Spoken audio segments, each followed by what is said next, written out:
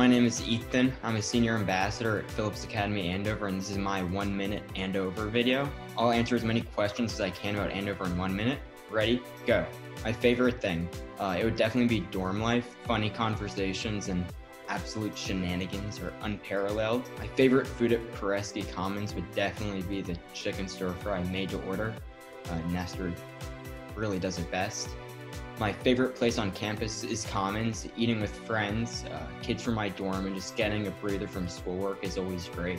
Favorite faculty member? I can't choose one, but definitely my house counselors, Mr. O, Mr. Dignard, Mr. Bynum, and Mr. Graver. Um, they're all great, and I can go to any of them if I need help with anything.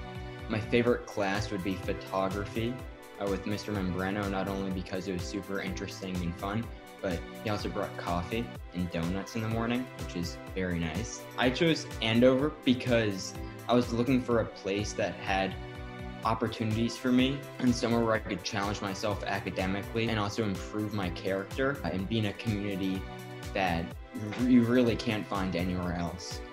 My favorite spot in downtown would definitely be CVS. Just make those runs and get food for the room. Favorite thing to do on weekends? getting breakfast downtown with friends, Perry's Plate. They have, they have some really good pancakes. Advice for new students don't hesitate to try a new activity or go up to a new person. Making friends is really one of the best parts of Andover. And lastly, favorite thing about no dress code throwing on the first thing you see at the morning of an assessment day so you can go study nice and early and not worry about what you look like. Thanks so much for tuning in. I hope you enjoyed my one minute Andover challenge. We hope you apply to Andover and say yes to Big Blue.